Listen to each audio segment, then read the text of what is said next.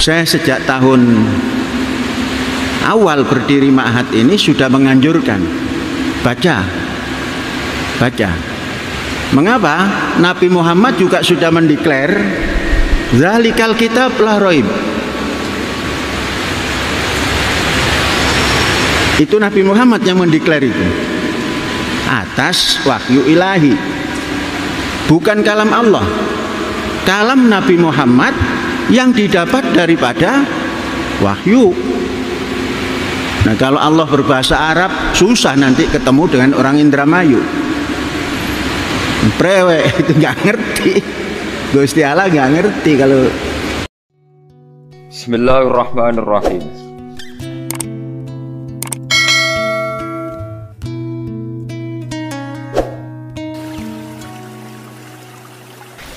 Paham ya? Nah itu terus Nabi sering dinasihati Khadijah. Sausé pasca niku Nabi sering dinasihati Khadijah. Termasuk nasihat yang terkenal gini ku fawawah la yuhzi kawau abadan inna kalata silur rahim wata kridoifa watak sibul mak dum watu inu ala nawa ibil hak ya Rasulullah engkau ndak usah susah karena citra jenengan cara bahasa track record jenengan tuh orang baik dulu dulunya sampean punya tradisi inna kalata silur rahim jenengan seneng silaturahim wa tahmilul kalla. Suka nanggung beban orang lah lain. Wa takridoifa suka mulia tamu. Wa tu'inu ala nawaibil hak lagi nunjuk no ini yang perlu diketahui jamaah-jamaah santri. Iku nunjuk no betapa pemimpin sejati kayak nabi sing didesain umi. Di nabi dari awal didesain umi didesain bintu yaitu raiso nulis raiso mojo. Tapi desain bintu sing disengaja Allah ben ora ana tuduhan Quran tiga karang jadi itu sing disebut Quran wa ma kunta taslu min qablihi min kitabi wala tuhu biyamini ka idzal lartabal muhdilun Muhammad kowe ora iso maca ya ora iso nulis. Umpama kowe iso maca iso nulis mesti Quran dianggap karangan karangan. Wis terkenal bento ora iso nulis wae dianggap dianggap karangan Lah iku nunjukno, iki zaman saiki sebalik, mulane nganti kiamat, anggere ana wong pinter tetep cenderung ana dicurigai ngakali. Wong Kanjeng Nabi digawe bento ae mbek digawe bento nulis ora iso maca, dicurigai ngakali Qur Quran. Mulane kowe saiki nak terkenal pinter, cek kiai, cek bupati, cek profesor, cek dokter, ana masyarakat curiga ngakali yo zaman yo. Iku sebalik meneh. Kodi sik angger pinter potensi ini dicurigai ngakal ngakali Sampai Nabi Muhammad tiga orang pinter, yaitu layak roh layak tuh bener orang dicurigai nopo ngakali. Ya saya kita tenang tuh. Sampai dulu fenomena zaman saiki wong bodoh ada di akal-akalin wong pinter. Wong bodoh ya salah ide bodoh. Nah, kok buatan sepunti, pancen pun ngotot. Tetapi Nabi Muhammad yang begini ini dikawal oleh orang-orang yang sangat terpelajar. Gini ku Warokoh bin Naufal kalian Khoti, Khotijah. Nah Khotijah ini pun paham indikasi kenabiannya Nabi Muhammad ku paham. Mulanya tetap wonten kaul sing darani awaluman amanah mutlakon Khotijah. Mergo nyatane ketika Nabi cerita untuk ketemu malaikat teng Gua Hira, Khotijah langsung tangkap dijak konsultasi tenggene tiang sing ahli Injil umpama ini sedurunge sama sekali nggak tahu tentang kemungkinan Muhammad Nabi itu kan ya digolekno dukun bos digolekno. Nyatanya dicarikan orang sing menguasai tentang kitab sama samawi. Bahkan sebagian riwayat Khadijah ngendikan aku gelem rabi jenengan ya karena ini. Jadi sausi diterang no warokoh diterang no macam-macam kulo ini pura rabi jenengan nggak krono ini pun kalau terang guys. Kalau sekali-kali nerang masalah awak itu suar. Awak itu suar itu sing masyur itu alif lam mim ya, awal nopo bakoro terus nopo malih? Alif lam roh terus alif lam mim roh terus yasin toha ain sin kof hamim kafaya insot. Terus nun kof guys sekitarnya ada banyak perdebatan ulama yang menurut saya sebagian itu harus kita benarkan. Meskipun sebagian itu ya hanya akal-akalan, tapi sebagian saya percaya ya.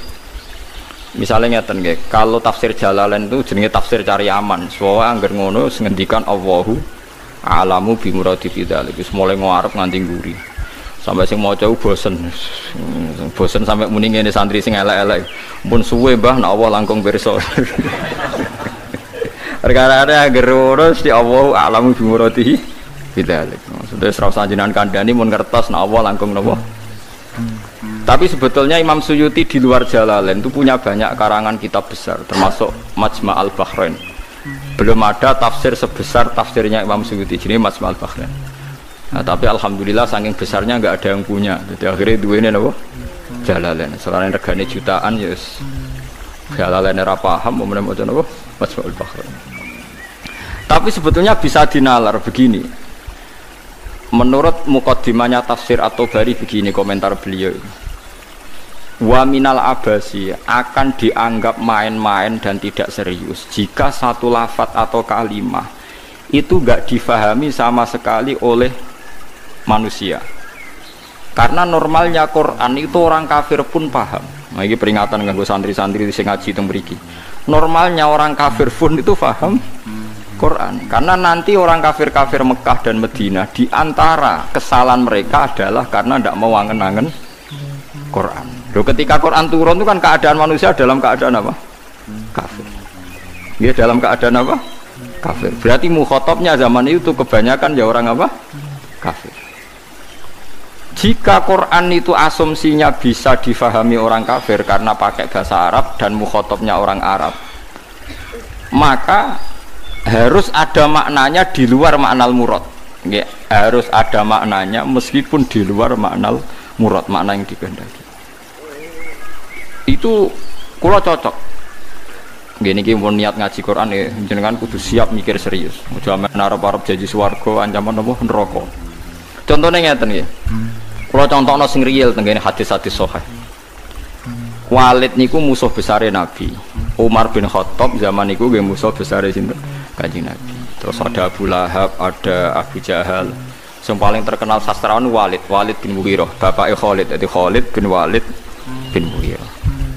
Nah Abu Jalak jenenge Amr bin Hisham. Nah lakopane Abdul Hakam bin Sinten bin Hisham. Ya mbaknya mimbani Makhzum. Niku ketika dengar Quran, niku komentari Walid ma huwa bikalamil bashar. Ndak mungkin omongan manusia seurut itu.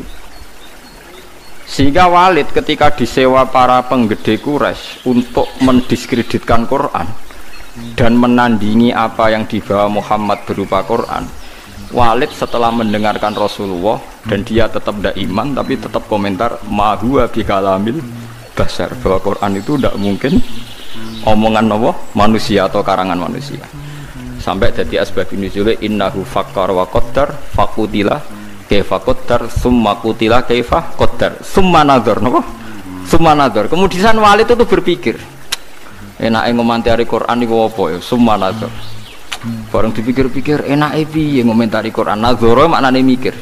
Summa nazar. Bareng dipikir-pikir gak tok. Summa abasa wa basar. Abasa ku merenggut. Serai nak kabeh ngomentari omongane Muhammad Urwai Pak. Diarani omongane menuso aku luwih pinter iso nandingi. Nak tak arani wahyu ordere harus bilang itu ndak wahyu. Ordernya saya harus komentar itu ndak wahyu. Summa nazar, summa abasa wa basar akhirnya sesuai sesuai order ya semua tawalan apa wastakbar terus fakola in hadza illa sihru yusar wa sebenarnya dia terus tawalla tawalan itu mengo wastakbar sombong akhirnya dia ngomentari in hadza illa sihru yusar in hadza illa qaulun basar pertanyaannya seperti ini kalau dari awal Quran itu salah menurut tatanan bahasa Arab, tentu mereka menyaingi itu gampang. Nyatanya ndak.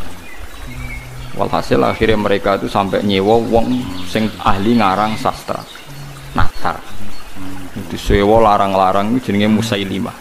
Untuk semua cowok Musailamah, semua cowok nopo Musailimah. Bareng disewa, ken nandingi beberapa ayat, iku mau iso saja e bener tapi tanpa kualitas makna saja eh bener tapi tanpa kualitas nopo makna enak dengan Quran kan wadhariyati dharwa fal hamilati nawa wikra fal jariyati isra fal muqassimati nawa amro misalnya kan urut itu Eh, sama-sama roh akhirnya dan ada kualitas makna napa wadhariyati dharwa fal hamilati satu dia ora. Mau cerita wattokhinati tohna demi perempuan sing nutu gabah.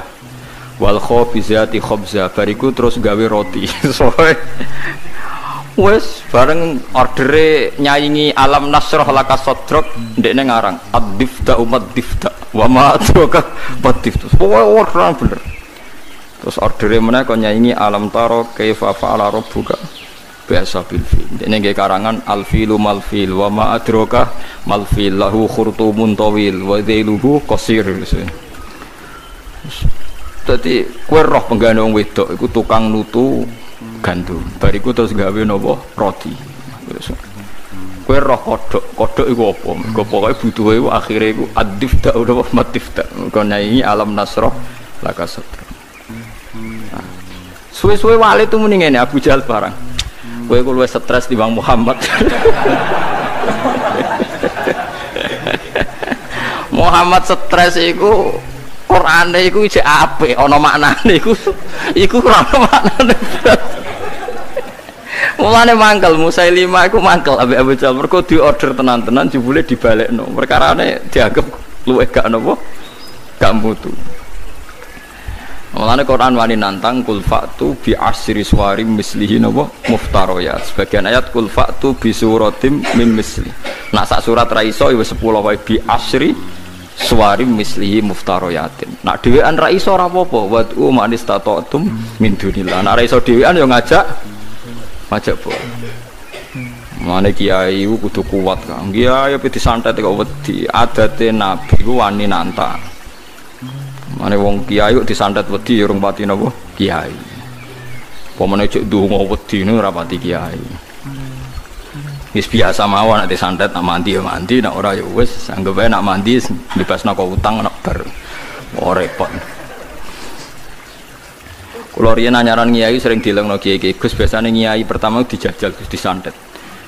Lah terus piye? Kedah maca ngeten-ngeten, moh sini-sini wong. Ben ana bedane aku gawa Quran be ora dadi aku ora tau ndonga tolak napa santet. Padha-padha pangeran mata ini aduk dukun santai teh lha apa mata ini aku. nah, sehingga kata Imam Tobari ada beberapa riwayat dari Ibnu Abbas. Kira-kira begini, misalnya tosin atau hamim atau apa saja. Kira-kira begini kalau dalam dialek. Bahwa Quran ini terdiri bahasa terdiri dari bahasa Arab misalnya abatasa atau ABCD. Jadi kalau kita mau memberi penjelasan sama masyarakat atau sama murid, biasanya kan cerita, kalian harus menguasai huruf-huruf ini. Misalnya ABC. ABC itu kata-kata yang mewakili semua jumlah huruf A, B, C, D, E dan sebagainya. Begitu juga kalau kita bilang mau ngajari anak-anak huruf hijaiyah, kita akan bilang kamu sebelum bisa baca Quran harus menguasai aba tasa. Misalnya kalau dalam orang Quran, kamu sebelum menguasai tajwid jazaria atau tajwid apa-apa, kamu harus menguasai babi bubab apa? Babi bubab baban. Terus kok yang ngono-ngono iku. Ya kira-kira seperti itu gambarannya itu. Jadi satu sandi, satu dua huruf disebut untuk mewakili sekian majmuk, sekian sekumpulan huruf. Paham sih kalau maksudnya? Jadi seperti itu, tidak mungkin terus sama sekali bebas makna. Tapi tidak ada makna murad, artinya tidak ada makna murad terus tosin itu to itu piye, sin piye terus sudah didukun hekal ditulis. Lah itu dukun Kang, ampun ngoten niku pun. Paham sih kalau maksud Artinya secara lugat itu so dinalar. Kalau kita mau belajar huruf hijaiyah, kita akan bilang belajar abata saja. Kalau belajar tajwid, misalnya kamu harus belajar babi bubak, tati tutat dan sebagainya. Kira-kira seperti itu. Karena Allah Ta'ala itu mengkritik orang kafir karena tidak mau angen-angen maknani lagi sing tamparan bagi kita. Lah kalau sama tanya apa orang kafir bisa paham Quran? Gus sangat bisa. Kita punya cerita banyak orang kafir yang masuk Islam karena dibacakan Quran. Sing masyur itu Umar. Sinten? Umar. Umar itu ketemu ning dalan mau membunuh Nabi Muhammad Ketemu kancane dinyek lha apa mateni Muhammad. Dulurem dhewe saiki katut Muhammad. Diparani. Adike kandung diparani. Diparani pas sampai Khobab bin Arad beberapa sahabat maca Quran yutoha ma anzalna alaikal qur'ana ditasku kon baleni Mbak Umar coba itu diulang bareng diulang Umar sadar ma huwa bi kalamil basar ini pasti ndak ndak kalamil basar ini ndak iman deh ini karena paham ma anzalna padahal dia masih masih nopo masih kafir Hmm.